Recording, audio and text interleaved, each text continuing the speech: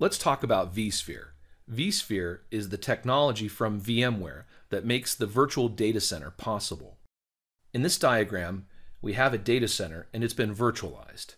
There are three main components. The vCenter server that manages all of the virtualization servers. Then we have the virtualization servers here. These are ESXi Type 1 bare metal virtualization servers that run the virtual machines or virtual computers. And then we have the storage. The storage is network attached storage or storage area network where you can have all of your files and data saved and it's saved so that any one of these servers can access this data over the network.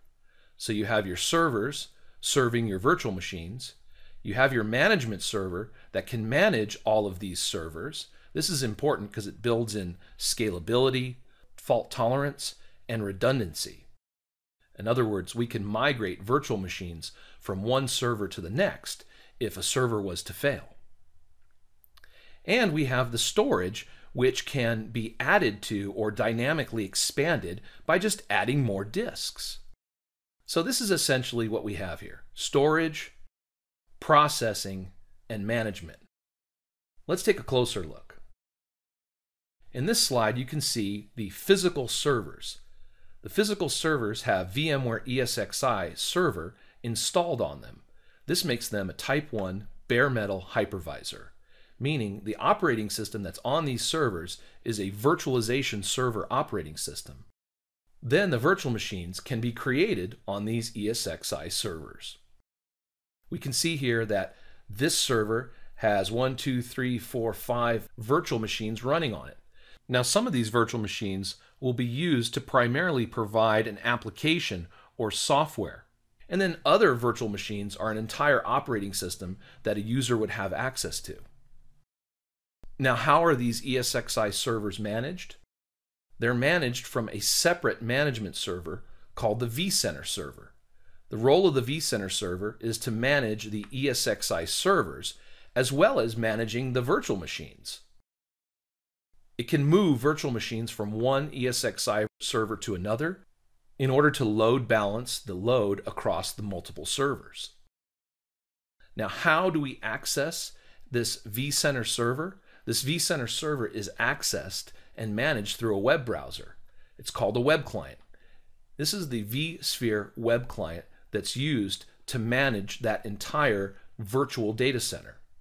You log in through a web browser into the vCenter management server, and then you use the graphical web browser interface, which includes icons and menus and settings that you can use to turn on and off virtual machines, delete them, create new virtual machines, add storage, set up networking, you name it. Let's take a look at how you would use this with NDG's NetLab. I have a web browser and I'm running NDG's NetLab server. With NetLab, we can use all of these devices remotely through a web browser interface. Let's take a look at that virtual data center now from the perspective of NetLab by NDG. In this lab, we have an ESXi server here, another ESXi server here. These are our two virtualization servers. We also have a storage area network right here, which is used to store our data or store those virtual machines. Then we have a vCenter server here that's used to manage the two ESXi servers. Lastly, we have a computer that is able to connect to the vCenter server by opening a web browser and just putting in the IP address and going to the IP address over the network. Let's take a look.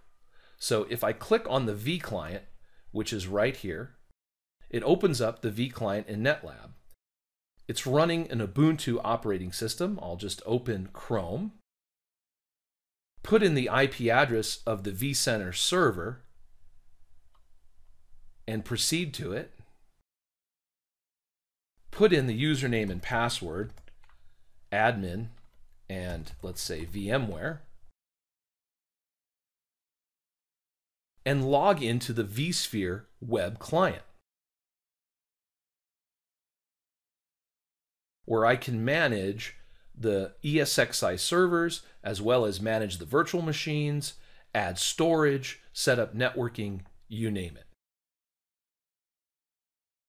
I hope this introduction to vSphere helped you to see how a vSphere data center or virtual data center is organized.